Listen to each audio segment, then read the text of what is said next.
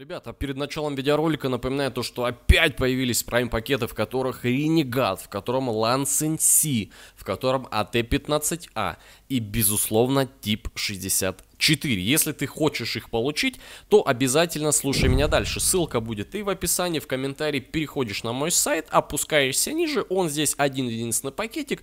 Ну и дальше максимально простые инструкции. Ты это уже тысячу раз делал. Такая же привязка к Амазону, как и была. Поэтому заходи, приобретай и играй на своих машинах.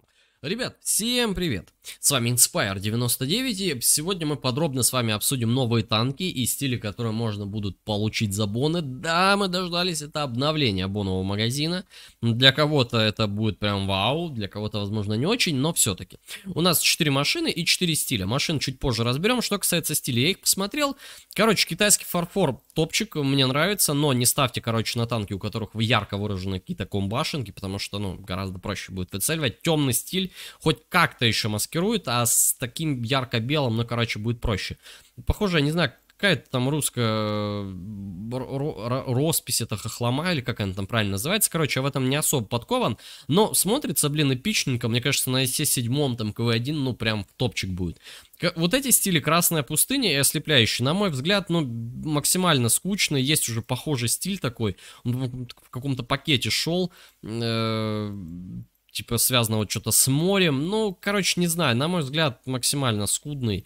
Ну, то же самое, как здесь. Ну, здесь еще хотя бы что-то, да, какая-то линейность, что-то есть. Ну, короче, насчет вот этих двух стилей такой себе. И вот этот стиль, он такой более брутальный, оверлорд, такой расписанный весь, да, ну, не знаю, мне как бы нравится. То есть, к этому окей. Но опять-таки, этот стиль будет а, один на всех картах, немножко скучноват, поэтому почему нельзя, допустим, вот этот стиль ставить на весеннюю, допустим, вот этот стиль нельзя будет поставить на зиму, а вот этот стиль на лето? Или там на осень, да, или как там у нас, э, на пустыню, там на, на весну и на все остальное. По-моему, будет смотреться довольно эпично. Почему просто нельзя добавить такую функцию, чтобы ты мог на один танк ставить три стиля, чтобы он тебе один не надоедал на всех картах? По-моему, будет очень классно. Но платить за них по 450 бон, тут, короче, смотрите сами, можете все за 1800 забрать тут как бы ваше. Теперь по танкам. Давайте по порядку. Что у нас есть?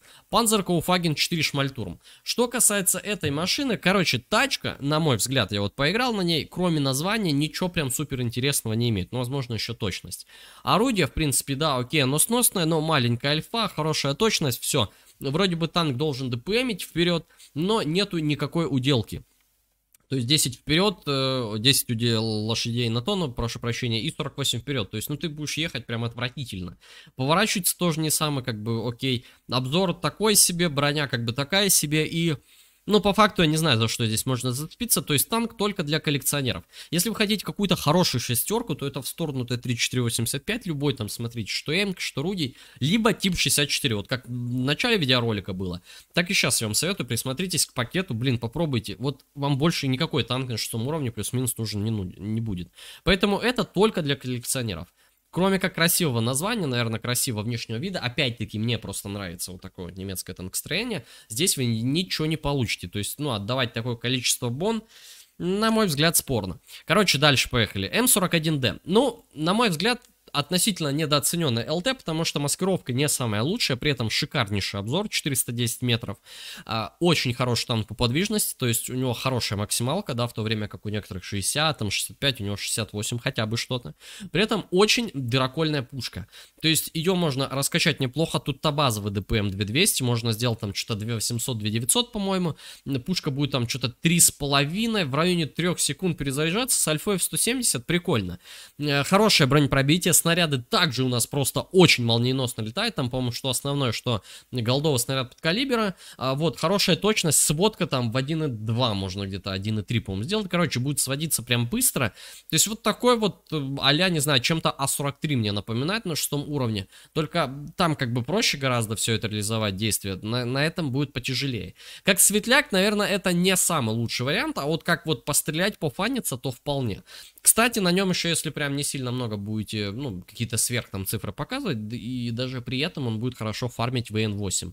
Фармить он может, обходится, в принципе, на базовых снарядах своих вполне, но данный танк огромный, если светится, его сразу же сбривает. То есть это подойдет, ну, максимально тем игрокам, которые могут и умеют играть на супер картонной технике, и вот на нем можно тогда пытаться какой-то ДПМ попробовать развалить, но здесь нету фугаса, то есть у ХВК есть, у Чернобульдога, у Синлака, еще у кого-то, здесь этих фугасиков нету, поэтому, когда ты заезжаешь в картет, ты так и будешь по 170 ковырять. Поэтому он как бы окей, но, блин, очень тяжел в реализации, поэтому 8 тысяч бона давать там, по-моему, гораздо за эти деньги более лучший вариант. Э, если я не ошибаюсь, он 8 тысяч будет Т-103 купить, э, типа, гораздо более сподручнее, да. Но в любом случае, такое себе, как бы шмальтур моя на последнее место поставил, этот парень у нас пока будет на третьем. Ну и рассуждаем дальше. Да, КВ-5. Многострадальческий танк, э, особенно со своим бронепробитием и с этой кумбашенкой, это просто жесть. А, вот, те, кто не знает, на нем гораздо более эффективнее танковать задом, просто задок реально поворачиваешь или рамбаси оставишь и все. И как бы окей, танкуешь, кроме башни. А, да, его поправили, да, его поправили в бронепробитие, он стал гораздо лучше в этом плане. А, у него, по базовое бронепробитие, нет, голдовое, я не помню, по-моему, у плюс-минус такой же, как было и осталось.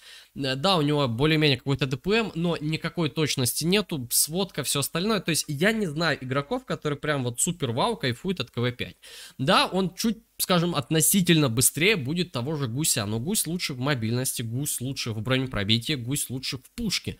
Поэтому, на мой взгляд, если уж и рассуждать, то гусь гораздо эффективнее. Поэтому те, кто говорят, что КВ-5 вот сейчас вау, ты прям на нем будешь нагибать, нифига.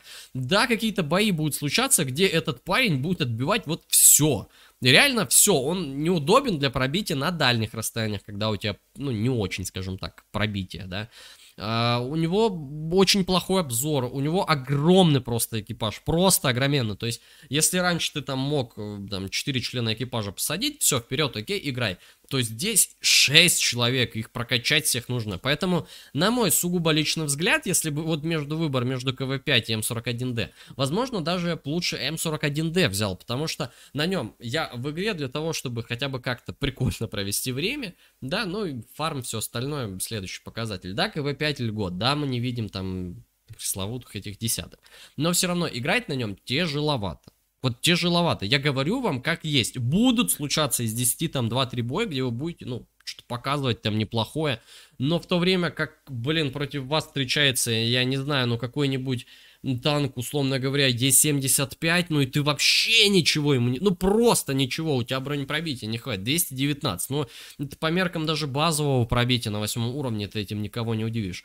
Поэтому, на мой сугубо личный взгляд, не самый такой прям вау-вариант. Да, это легендарный аппарат, огромное дань уважения ему, но сейчас он играется не так круто и весело, как раньше. Здесь огроменный движок, по-моему, на 1200 лошадей, там дизельный вроде бы еще по игре как числится.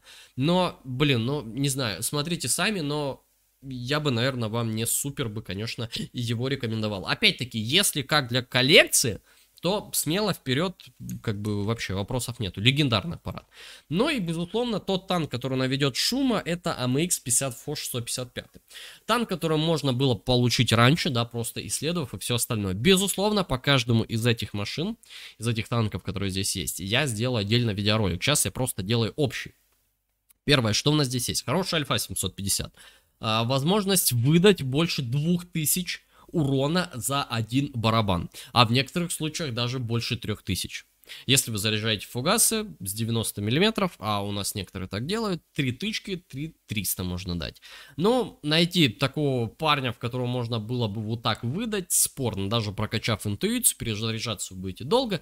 Ну, короче, спорно. При всем при этом, да, хорошее, потрясающее просто голдовое пробитие. 395, то есть, ну, ты пробиваешь абсолютно все, но при этом долгое КД, да, при этом всего лишь 3 снаряда, если ты двумя промазал, и потом как-то у тебя получилось реализовать один, то есть ты столько перезаряжался, э, столько, не знаю, тратил времени на все про все, и в итоге 750 дал, и опять там уходишь на огромное количество перезарядки. Но при этом, да, данная ПТ бронирована, но, блин, конечно, эта комбашенка, она вот, ну, принимает все. Она магнитит снаряды, так же, как и корпус, поэтому на фаше, на фаше 12 тысяч, да, не 15 тысяч, как 121 БМ-60, я считаю, то, что это машины универсальные. ФВ-215Б уже и ФОШ это более специфичные аппараты, которые которые требуют, скажем так, рукастости. А, вот. Да, он, безусловно, ездит очень быстро, он очень подвижен, и этим как бы фаши славятся. У него потрясающее бронепробитие. Да, прикольно э, въехать просто две с копейками дать и обратно перезарядиться, но это нужно уметь, это нужно читать и все-все-все-все-все остальное. Поэтому фан-машина прикольная, действительно прикольная, вот, ну, поиграть так можно, э, показывать топ-результаты можно будет, но это один раз на несколько там десятков боев. Поэтому, ну, не знаю. Очень спорно. Каждая машина, которая добавлена, она так или иначе имеет какие-то свои подводные камни. А, на мой сугубо личный взгляд, э, среди восьмерок, да, та же Т-103 смотрится за 8 тысяч бон гораздо более лучше, сподручнее.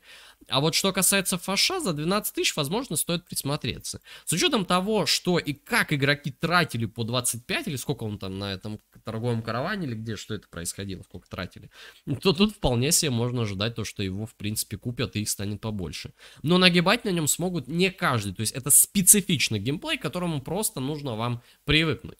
Но под каждому из танков я сделаю видеоролик, поэтому обязательно подписывайтесь на канал. Если что, по пакетам в описании, в комментарии, все посмотрите. Но фош, наверное, да, вот фоша бы, ну, я бы рекомендовал. Все-таки, как-никак, десятка. Вот, все-таки танк с историей и есть свои особенности. Если вы играете взводом на тремя таких фашах, то, конечно, очень страшно против вас выезжать, потому что, ну, вы с таким ураганом можете снести любого противника, что это просто капец. Ну, короче, танк вот такой а где-то чуть-чуть имбовый, где-то чуть-чуть фановый, и, ну, короче, вот он такой вот, ну, это фош и фош. Вот, наверное, все-таки лучше фош, который прокачиваемый, но этот более такой вот, еще более фановый, потому что здесь огромная альфа. Ну, короче, стоит присмотреться, ждите моих видеороликов по этим машинам. Ну, в общем, как-то вот так. Пишите, что вы думаете, да, рады вы или, или не рады вы таким новинкам. Чему присматриваете, что вы будете брать. Ну и как-то так, ребят. Все, все, что сказал, по пакетам в описании в комментариях. Спасибо большое, то, что смотрите. Подписывайтесь на телеграм-канал, на YouTube, на Яндекс.Дзен. Короче, вы все знаете, молодцы. Ну а вам счастливых побольше дней. До новых встреч.